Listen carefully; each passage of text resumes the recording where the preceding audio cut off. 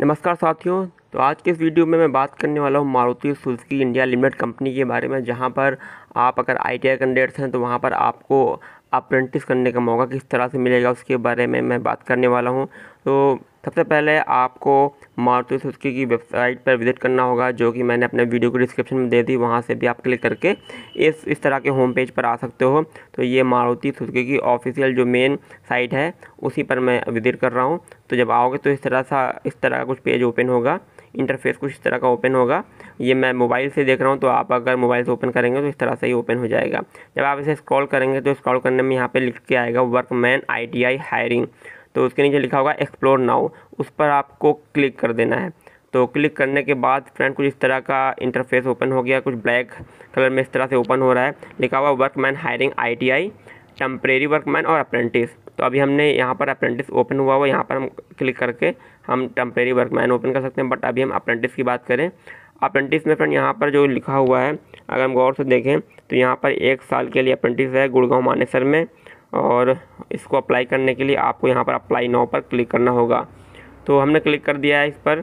अब ये देखिए कुछ इस तरह से पेज ओपन हो गया। तो यहाँ पे बताया गया कि आपकी एज अगर तेईस साल तक है तो अप्लाई कर सकते हो। I T pass out only government I के कैंडिडेट पार्टिसिपेट कर पाएँगे एनसीबीटी या एससीबीटी के। लास्ट डेट अप्लाई की थर्टी वन जुलाई। तो इकतीस जुलाई तक आप यहाँ पर अप्लाई कर सकते हो। इसका जो प्रोसेस होगा सिलेक्शन प्रोसेस वो होगा ऑनलाइन टेस्ट फिर personal interview colour colour blind candidate are not allowed.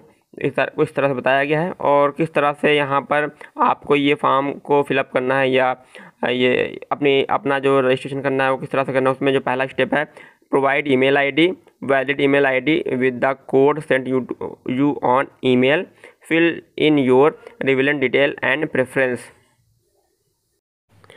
तो फ्रेंड किस तरह से अप्लाई करना है इसके बारे में तो जानकारी मैंने आपको इससे पहले भी दे रखी है तो उस वीडियो का लिंक भी मैं आपको अपने वीडियो के डिस्क्रिप्शन में दे दूँगा, जहाँ से आप चेक कर सकते हो किस तरह से आपको अप्लाई करना है।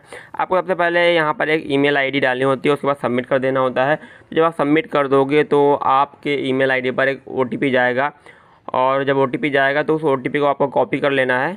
उसके बाद इस पेज ईमेल आईडी सबमिट करने के बाद जो नया इंटरफेस ओपन होगा, वहाँ पे आपको अपनी ओ फिलअप कर देनी है।